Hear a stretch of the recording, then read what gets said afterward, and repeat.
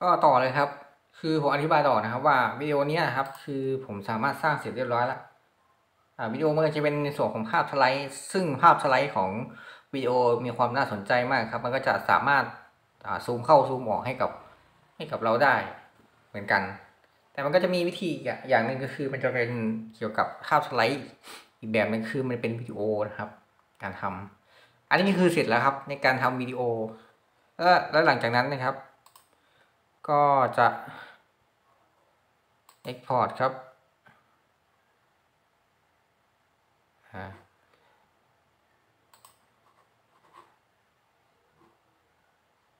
ก็รอมันสักครู่นะครับ แบบนี้ก็เหมือนกันครับ ในการทำสูตรแบบนี้ก็คือเราสามารถแบบหาวิดีโอแบบนี้ค่อนข้างที่จะง่ายมากในการทำวิดีโอนะครับ แบบนี้เลย อะรอรอระบบในการโหลดแป๊บหนึ่งนะ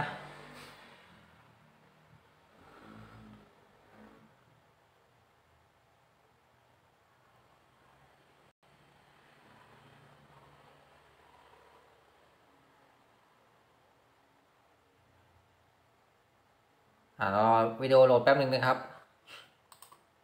แล้วหลังจากนั้นครับ เราก็แค่เอา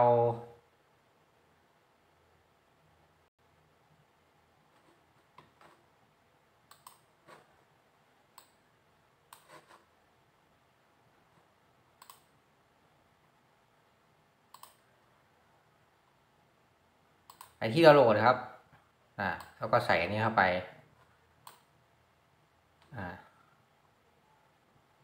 เสร็จเรียบร้อยครับ แล้วก็แค่ตั้งชื่อครับ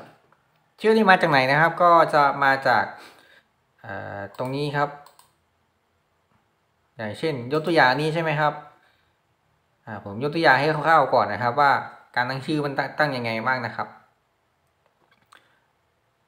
เสร็จปุ๊บนะครับ ผมกรอบตรงนี้ครับ มากดตรงนี้ เสร็จเรียบร้อย ถ้าคุณไม่รู้ว่าจะตั้งชื่อยังไงนะครับเนี่ยกดมาปุ้งกดปั๊บปึ้งดูก่อนนะครับว่า ตัวนี้โอกาสในการทำเป็นยังไง อะแปดใช่ไหมเราใส่เก้าใส่เก้าเข้าไปดูดีครับ โอกาสเป็นยังไง โอกาสในการค้นหาเป็นยังไงครับ อ่า เนี่ยก็ยัง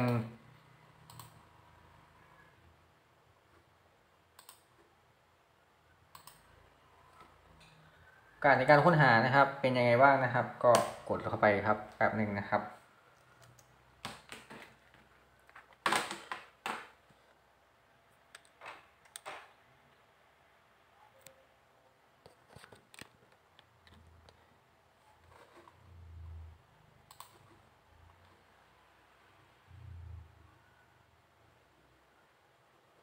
เนี่ยครับ อันนี้คือปริมาตรในการค้นหาที่สามารถเอาตัวนี้ไปใส่ได้นะครับ อ่าไปไปไปใส่ได้ในการค้นหา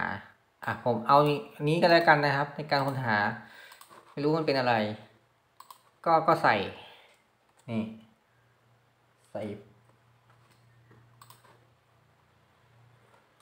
ก็วางใส่แค่นี้เองครับ อันนี้ก็คือจบแล้วครับกระบวนการในการให้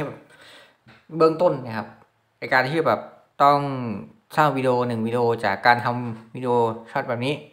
นี่คือวิดีโอหนึ่งวิดีโอใช้สคริปต์ในการลากสคริปต์มาแล้วก็มาวางเสร็จเรียบร้อย ได้มาหนึ่งวิดีโอแบบนี้กดดาวน์โหลดปุ๊บเสร็จปั้งใส่แบบนี้อ่า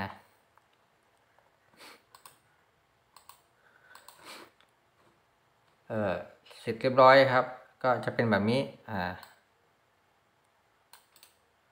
ทีนี้ผมจะอธิบายต่อนะครับว่าอธิบายนิดนึงก่อนจะจบนะครับ เดี๋ยวจะมีวิดีโอถัดไปให้คุณดูอีกครั้งหนึ่งนะครับ อ่า ตัวนี้มาที่อ่ามาที่โปรแกรมอีกโปรแกรมหนึ่งนะครับ ก็คือแคนวาดนะครับแคนวาดผมจะใช้มาเป็นเกี่ยวกับ การทำวิดีโอตัมมิลทุกอย่างที่ผมเคยทำ เหมือนกับวิดีโอที่ผมเคยทำตัวนี้ ผมอธิบายให้ให้ดูก่อน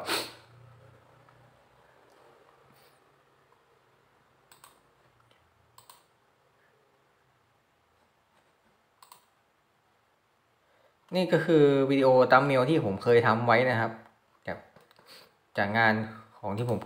ทำอยู่บนช่องนี้ แต่ก็อยากจะให้มันผ่านกฎแล้วเนาะ ราะว่าก็ทำมานานแล้วอะ ก็อยากจะให้มันผ่านกฎดีกว่าไปช่างเออดีกว่าทิ้งไว้ก็ไม่เกิดประโยชน์นะครับ การทำนี่ก็คือตัวอย่างนะครับ ที่ผมทำล่าสุดไว้นะครับ ในการทำตัมตัมเมลโอเคมาที่แคนวาสนะครับ แล้วก็กดตรงที่เอาเมลก็ได้อะตรงนี้ครับ แล้วหลังจากนั้นเราก็ ค้นหา แต่ก่อนอื่นนะครับ อันนี้ผมเคยทำไว้แล้วมันก็จะมีตัมเมลที่แบบแนะนำให้คนได้เอาไปใช้นะครับที่ดีที่สุด ในการใช้แต่ว่าเราก็สามารถออกแบบในการตกแต่งเพิ่มขึ้นอินไซต์อะไรต่างๆ ขนาดเพิ่มรูปภาพอะไรต่างๆ ขึ้นมาเพื่อจะทำให้คุณมีความโดดเด่นในการที่แบบสร้างสรรค์ในใน YouTube ในนี้ก็ได้ครับ อันนี้ก็คือเกี่ยวกับสุขภาพอ่าแต่ว่าถ้ามันเป็นแบบนี้อ่าเราไปเอาจากไหนมา ก็จะเอาไปเอาจากเว็บนอกมา แต่ถ้าหากว่าไม่เอาจากเว็บนอกขี้เกียจก็จ่ายตังค์อันนี้เป็นโปรเดือนหนึ่งเท่าไหร่ครับ เดือนหนึ่งก็จะตกอยู่หลายบาทเหมือนกันอยู่ประมาณสองร้อยบาทสามร้อยบาทนะครับ ส่วนของการเป็นวิดีโอแบบโปรแกรม AI ไว้เสียงนะครับ มันก็ต้องมาใส่ในองค์ประกอบของวิดีโอนั้นเหมือนกัน แต่ว่าอันนี้คือทำให้ดูเป็นขั้นตอนเฉยอ่าเฮลนะครับ กดปึ้ง นี่ขึ้นมาแล้วครับ ก็จะมีให้เป็นเกี่ยวกับสุขภาพนะมีค่อนข้างที่จะเยอะครับสุขภาพ ลองเป็นอลองเป็น ตัวอย่างผมลบพวกนี้ก่อนนะครับอ่าตรงนี้ก็แล้วกันอะปุ่มเสร็จเรียบร้อย ลบนี้ทิ้งครับ ลบทิ้งครับอืม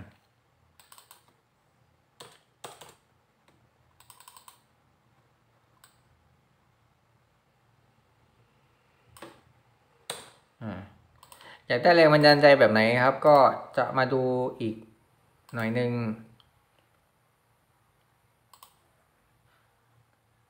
นี่แรงบันดาลใจที่จะทำอันนี้พวกนี้ก็จะเป็นพวกสต็อกที่เขาขายแบบอาหารส่วนใหญ่ แต่ว่าสต็อกพวกนี้ก็ทำมาจากแคนวาสเช่นเดียวกันสต็อกพวกนี้มาจากไหนเป็นวิดีโอฟรีครับที่มาใช้ แต่แต่ว่าอันนี้ก็แค่กดไว้ก่อนนะครับทำไมให้ดูเฉยลองกดเข้าไปในเว็บไซต์ของเขา นี่ก็จะเป็นสูตรพวกอาหารบทความต่างๆเอาละตัวฟอนต์นะครับก็จะมีแบบนี้นี่ลากมาใส่หรือไม่ก็ตัวนี้นี่เป็นโปรนี่ก็ได้ครับนี่ฟูลบทิ้ง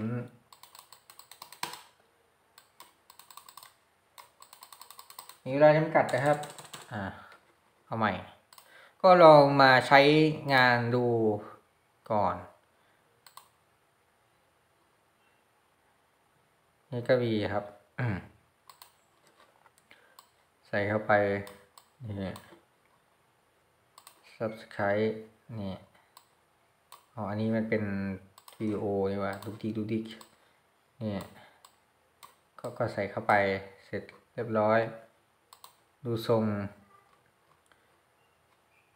ไม่มีอ่านี่ใส่เข้าไปแบบนี้นี่ใส่เข้าไปแล้วก็ยืดมาหน่อยนึงนี่นี่แล้วอันนี้ก็ลบทิ้งครับนี่ก็ใส่แบบนี้เข้าไป สีสีแดงปั้งนี่หน่อยนึงเนี่ยเสร็จเรียบร้อย ส่วนใหญ่ตัวของตั้มเมลนะครับ เราจะไม่สามารถวัดผลได้ในแค่สองหรือสามวันนะครับ เราจะวัดผลอีกทีนึงก็จะประมาณเจ็ดวัน ซึ่งเจ็ดวันเนี้ยจะบ่งบอกถึงคิกทูเรทของ ของหน้าปกที่จะทำให้คนคิดเข้าไปเพื่อดึงดูดความสนใจนะครับ จัดอยู่ในรูปแบบแบบนี้อะก็จะมีประมาณนี้ก็ใส่สีเข้าไปอีกนิดนึงนะครับ ก็ประมาณนี้แล้วก็อัปโหลดแล้วก็ลงมาวางแบบนี้ครับเดวิชันตรงนี้นะครับ เดี๋ยวผมจะมาสอนอีกทีว่าทำยังไง อันนี้ผมตั้งชื่อเรียบร้อยแล้วแล้วดูว่าผมอธิบายให้ฟังแล้วเป็นยังไงบ้างครับ ยังไงก็ฝากอีกนิดนึงนะครับว่าก่อนจะไปนะครับ ก็ฝากกดติดตาม ดติดตามช่องผมด้วยก็แล้วกันนะครับ เป็นช่อง YouTube ของผมนะครับ อย่าลืมนะครับ เจอกันใน EP ถัดไปในคลิปวิดีโอถัดไปที่ผมจะมาสอนในการที่จะใช้วิดีโอ voice เสียงอะไรต่างๆ เพื่อที่จะสร้างวิดีโอเพิ่มขึ้นครับแล้วก็สร้างในส่วนของช่องหมาแมวเพิ่มขึ้นนะครับในคลิปวิดีโอถัดไปผมจะสอนในเรื่องของการสร้างช่องวิดีโอ